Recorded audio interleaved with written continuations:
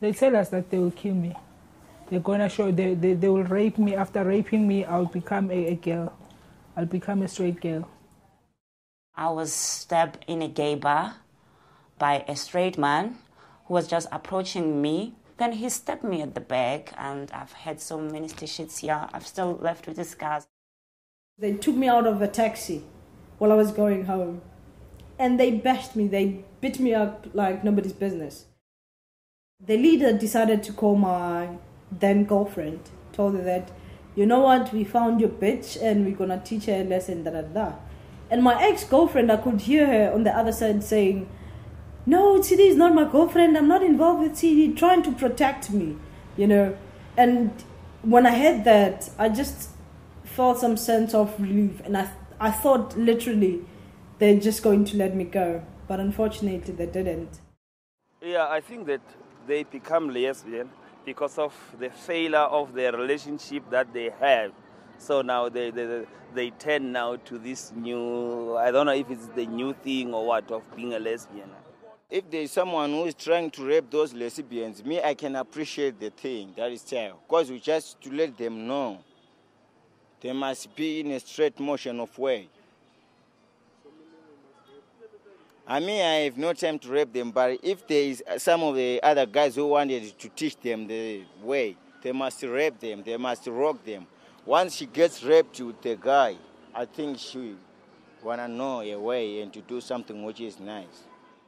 They looked for um, this dirty, ugly old man who was stinking rotten, and they made me suck his cock and I couldn't I couldn't swallow my saliva. I couldn't do I couldn't it just I, I just felt like throwing up.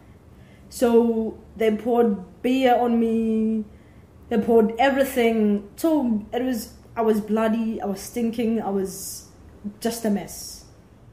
Also my children were raped at the age of 13 years. Both they were teens and I lost one last year because whatever happens to them, those boys, they tell them, we wanted to show you that uh, you don't have to be like your mom. You're supposed to know that you're supposed to be involved with a man.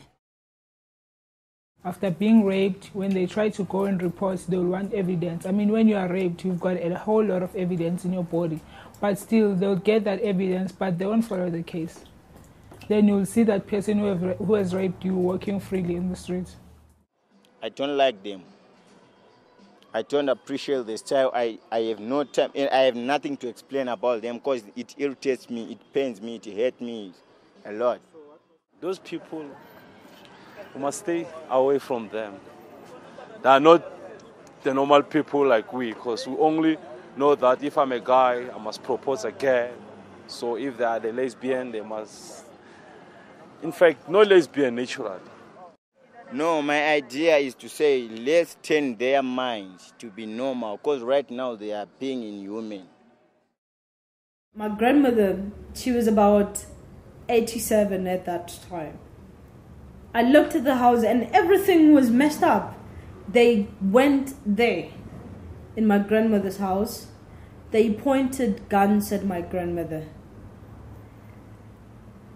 They had 9 millimeters, they had AK 47, and they messed up my grandmother's kitchen.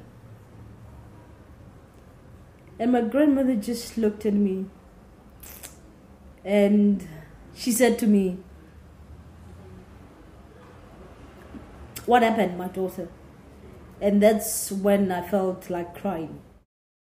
Somehow, somehow, I blame myself, but at the end of the day, I've said no one is going to change me and no one has the right to hurt my children. No one has the right to hurt me, but they make me to be strong. It's not for the first time, but it has to stop.